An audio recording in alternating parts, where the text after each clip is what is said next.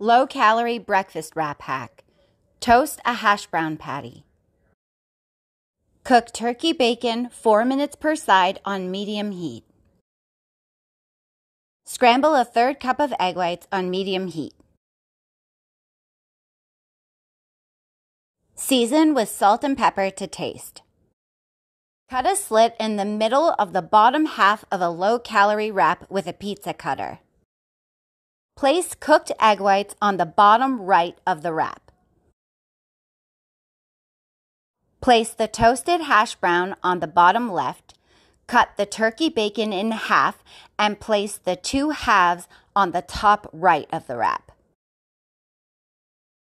Place a fat free cheese slice on the top left of the wrap. Fold up to the left, over to the right, down to the bottom. 344 calories. Enjoy!